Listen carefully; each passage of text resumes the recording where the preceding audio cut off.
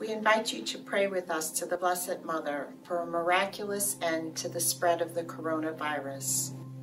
We pray.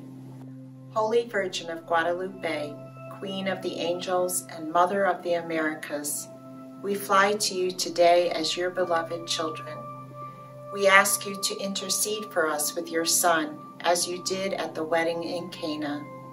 Pray for us, loving Mother, and gain for our nation and world and for all our families and loved ones the protection of your holy angels, that we may be spared the worst of this illness.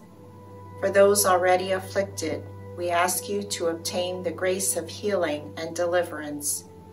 Hear the cries of those who are vulnerable and fearful. Wipe away their tears and help them to trust.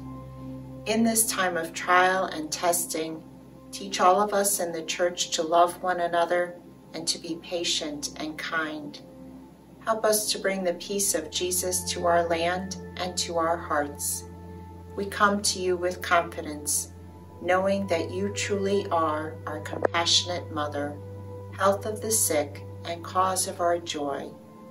Shelter us under the mantle of your protection. Keep us in the embrace of your arms. Help us always to know the love of your Son, Jesus.